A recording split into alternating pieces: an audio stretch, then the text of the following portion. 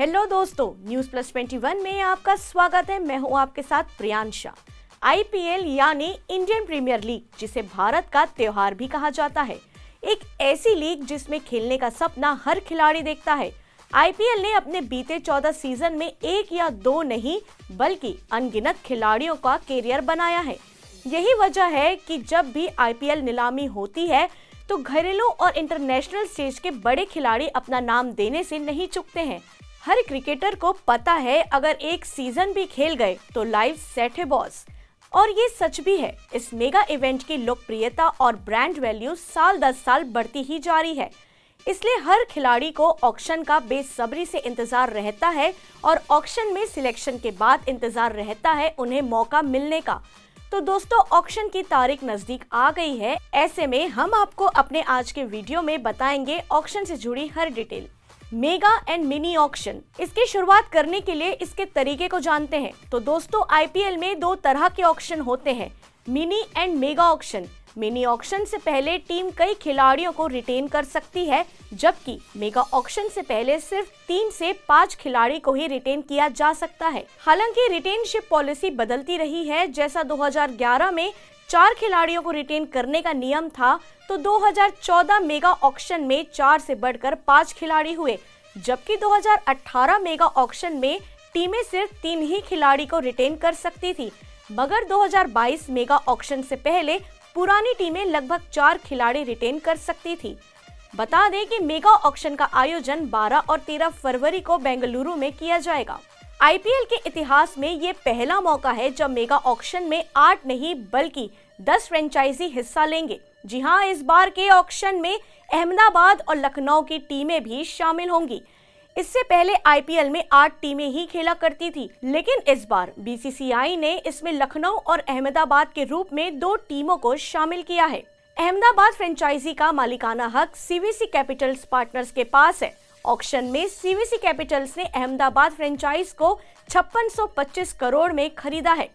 दूसरी नई टीम है लखनऊ, जिसका मालिकाना हक आरपीएसडी ग्रुप के पास है, जिसके मालिक संजीव गोइनका है, जिन्होंने लखनऊ फ्रेंचाइजी को सात हज़ार नब्बे करोड़ में खरीदा है। लखनऊ फ्रेंचाइजी ने अपनी टीम का नाम लखनऊ सुपर जाइंट्स रखा है। मेगा ऑक्शन 2022 के लिए देश और विदेश से 1200 से अधिक खिलाड़ियों ने अपना नाम दिया था। जिनमें से 590 खिलाड़ियों को चुना गया है। इसमें 228 कैप्ट, यानी इंटरनेशनल मैच खेल चुके खिलाड़ी है। 355 अनकेप्ट खिलाड़ी और सात खिलाड़ी एसोसिएट देशों से भी है। कुल 48 खिलाड़ियों ने अपना बेस प्राइस दो करोड़ रखा है। 20 खिलाड़ियों ने अपना प्राइस थोड़ा कम एक दशमलव पाँच करोड़ रखा है, जबकि 34 खिलाड़ियों ने अपना बेस प्राइस एक करोड़ रखा है। कुल 590 में से 300 खिलाड़ी भारतीय हैं, जबकि बाकी के 220 खिलाड़ी हैं, वो विदेशी हैं, जिनमें ऑस्ट्रेलिया से सबसे ज़्यादा सैतालीस खिलाड़ी वेस्ट इंडीज से 34, साउथ अफ्रीका से 33, श्रीलंका से 23 और इंग्लैंड और न्यूजीलैंड से 24, अफ़गानिस्तान से 17, बांग्लादेश और आयरलैंड से 5, नाम्बीबिया से 3, स्कॉटलैंड से 2, नेपाल अमेरिका और जिम्बाब्वे से एक एक खिलाड़ी शामिल है। आईपीएल के नए नियम के अनुसार दोनों नई टीमों को ऑक्शन पूल से तीन तीन खिलाड़ियों को ही चुनना था। जिसमें एक विदेशी, दो भारतीय हो सकते थे। वहीं आठ पुरानी टीम मैक्सिमम चार खिलाड़ियों को रिटेन कर सकती थी, जिसमें सिर्फ़ दो विदेशी खिलाड़ी हो सकते थे। जी हाँ आपको बता दें, पिछले साल 30 नवंबर को आठों टीमों ने रिटेन किए गए खिलाड़ियों की लिस्ट जारी कर दी थी।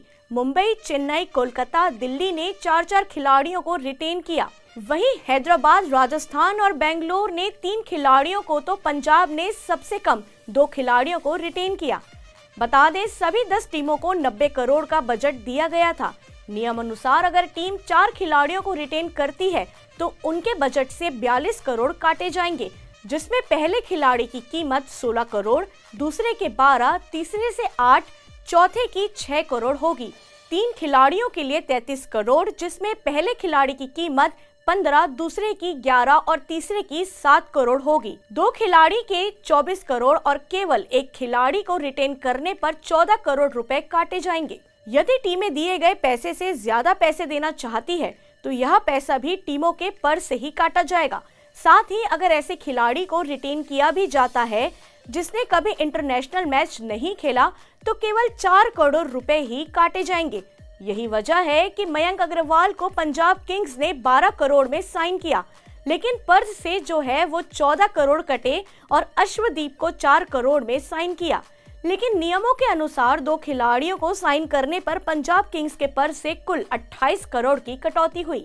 तो दोस्तों, ये थी आपके लिए आईपीएल ऑक्शन की सीधी जानकारियाँ हमारा वीडियो पसंद आया हो तो हमारे चैनल को लाइक और सब्सक्राइब करना ना भूले। नोटिफिकेशन के लिए बेल आइकन ज़रूर दबाएँ। देखते रहिए न्यूज़ प्लस ट्वेंटी आपके हक की बात।